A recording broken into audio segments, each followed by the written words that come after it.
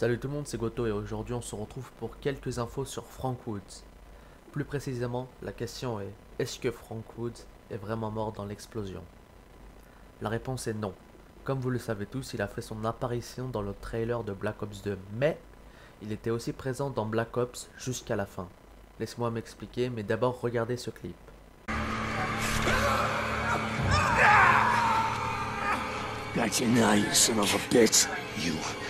Dying. What?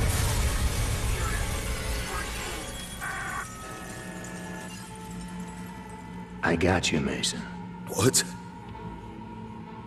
You're okay. Are you okay?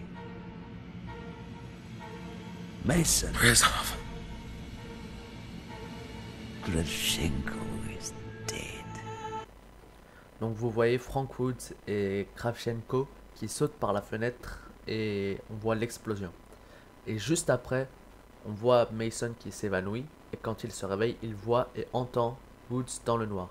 Il ferme ses yeux, il ouvre ses yeux et ensuite on voit Reznov. Mais pourquoi est-ce que Reznov est là? Si vous vous souvenez bien, Reznov est déjà mort. Regardez ce passage. Victor Reznov's been dead for five years. He died at Vorkuta during the escape. All the years you thought he was with you, that was just in your mind. Voilà, donc maintenant on sait tous que Reznov est mort et on sait aussi que Reznov fait partie de l'imagination de Mason. Donc en réalité, à chaque fois qu'on voyait Reznov, c'était en fait Frank Woods. Vous me croyez toujours pas?